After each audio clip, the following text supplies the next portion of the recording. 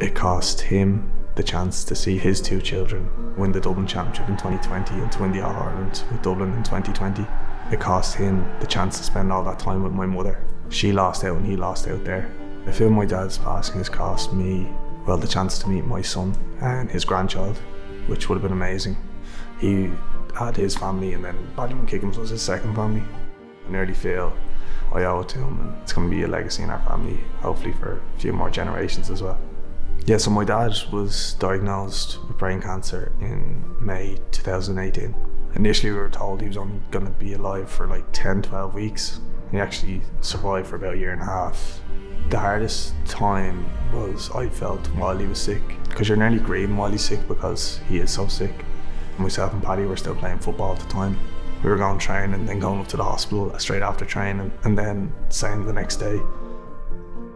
He was my idol, like he's the only reason I'm kind of playing football as well. He was very good dad, like.